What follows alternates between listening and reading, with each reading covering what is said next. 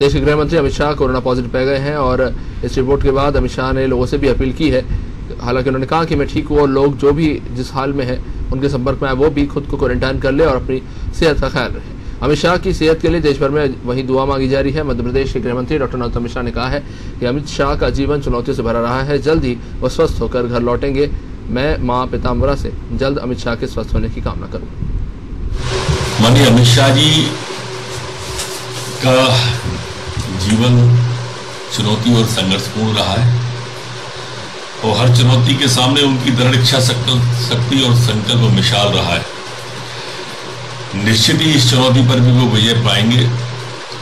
उनके यथाशीघ्र स्वस्थ होने की मैं माँ पीताम्बरा से प्रार्थना करता हूँ कि वो पुनः जल्दी शीघ्र स्वस्थ होकर देश की सेवा में पुनः जुटे।